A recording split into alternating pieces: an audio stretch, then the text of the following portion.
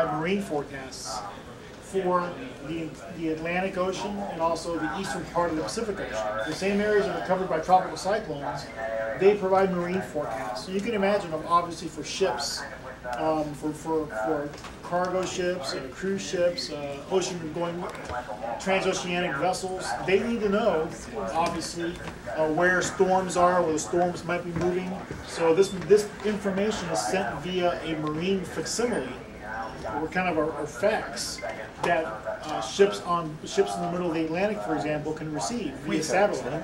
What's that? The the WEFAX, the weather fax over HF. There's there's yeah, that's probably it. Yeah, there's different names for it, but it's pretty much yeah. It, basically, they're getting it through a high frequency, uh, ch- you know, satellite. Basically, so it's taking bringing it in. So even if you're in the middle of the Atlantic Ocean, for example, you can get you can receive your weather forecast charts. I can tell you where a storm may be going, uh, you know, 24, 72 hours. Uh, and even during the winter, of course, we deal with non uh, with non-tropical systems, uh, gales, etc. And they need to know where those are going to be as well. So, anyway, anyway. um, Is this the office that we call to order flat calm seas when I'm going fishing? Or locally? well, yeah, you know, anywhere. Who do I call to order flat seas and nice yeah, weather? that's actually over here. Oh, yeah, over there? That's my that's my side. Oh, so you're to blame. Yeah, exactly. All right. Uh, the Hurricane Hunter planes, don't they test them for other things during the winter? Like, didn't I hear them going up They into do Alaska? train, they do training missions and they also do winter storm reconnaissance. Yeah, Alaska. Interesting. Oh, Isn't that its own? Okay, let's, we're gonna go, we're gonna Yeah. Yeah. over here now. Okay, you can just, if you want, you can just kind of take this area over here if you want.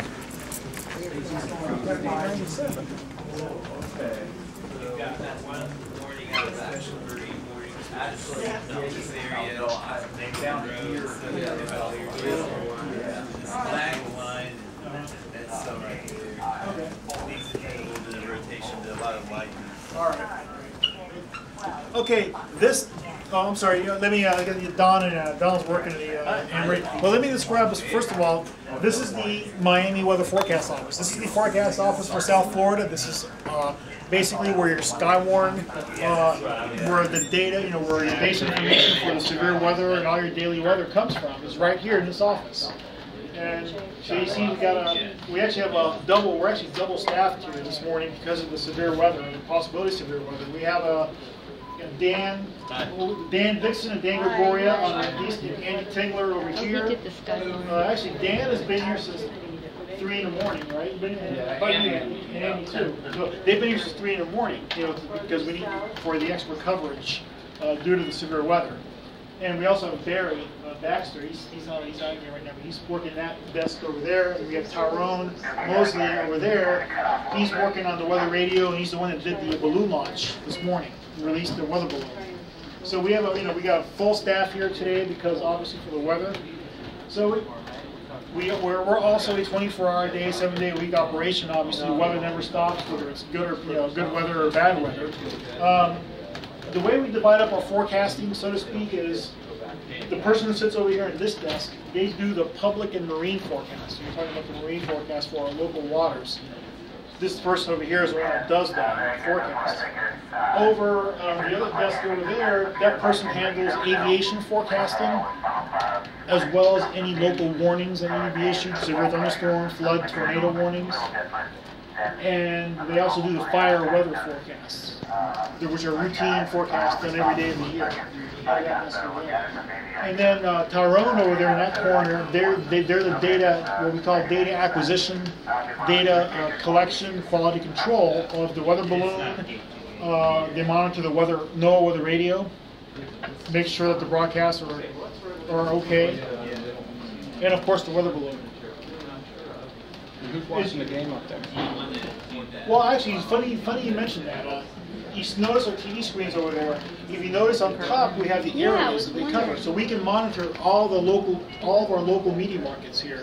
We have a DirecTV package that we, we can actually see different uh, media markets. So, since our area encompasses three media markets, we actually can view the, the Southeast Florida media market on the left-hand screen, uh, the Fort Myers, Naples area stations on the second screen, West Palm Beach, Palm Beach County, on the third screen, and then the others, the one on the far right, usually have on Weather Channel or some national level. You can call it the weather guest and go, what the heck did you say that for?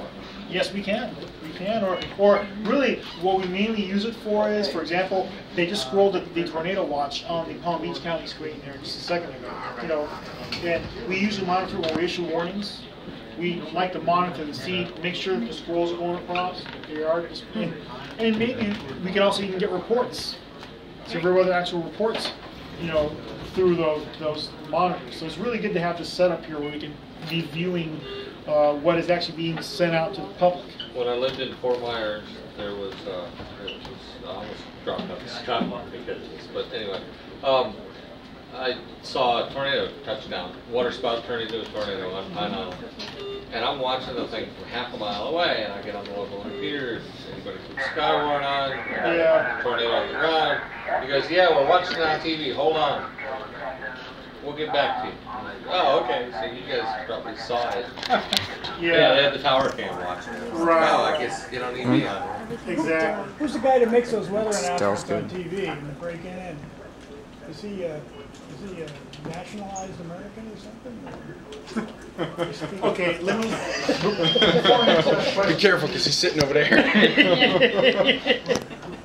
Oh, no. Okay, I wanted to turn to the radio.